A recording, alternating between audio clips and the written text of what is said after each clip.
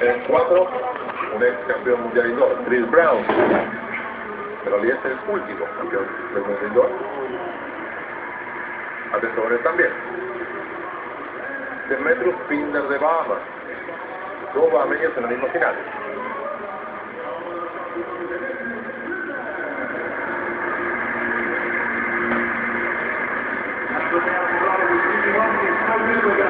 Finalmente, Nelly Brenner superó notablemente para meterse en esta final, muy meritorio de Nelly también.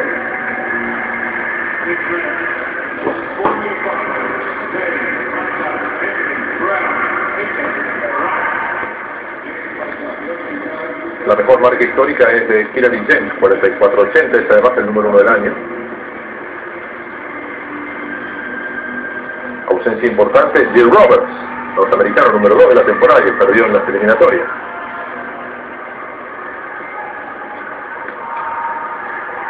Nelly Brenner concentrándose.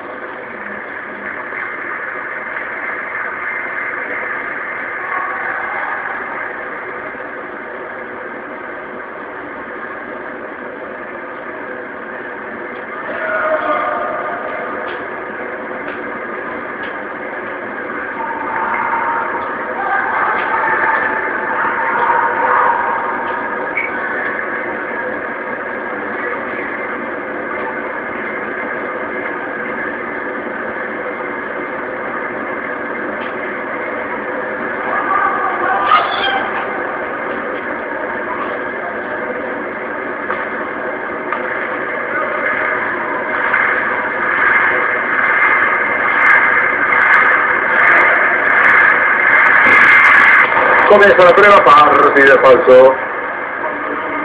Sin descalificación, pero partida falso.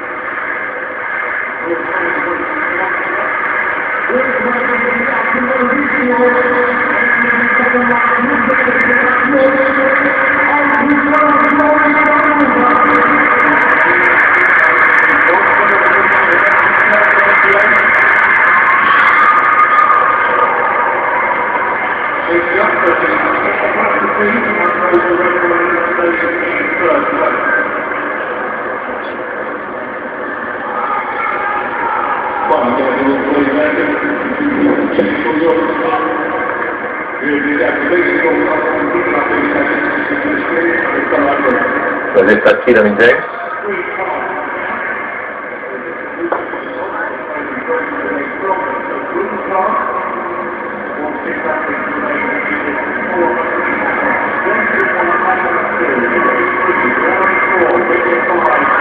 Va que haya la gran Usain el tiempo de correr. Le van quedando dos vueltas todavía, dos ruedas, todavía el salto, con, el salto en largo. Y aquí un par de pruebas tan importantes como son las finales de 60 metros con vallas de mujeres y 60 llanos de varones dentro de un rato. Estamos ya en la última media hora. Mañana otra vez. Estamos desde las 9, ¿no es? Un poquito más tarde.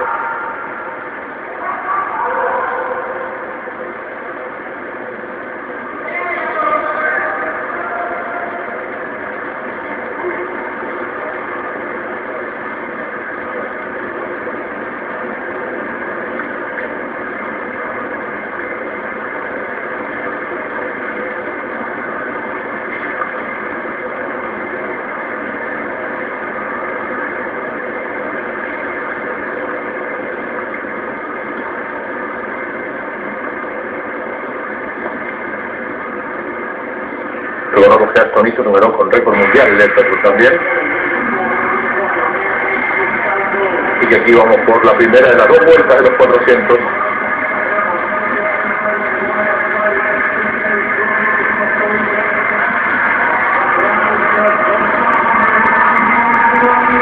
Un poquito después de las 9 de la mañana, mañana estaremos con el final de la competencia. Perdón, a las 10, disculpe. Gracias, gracias, de 10 a 13.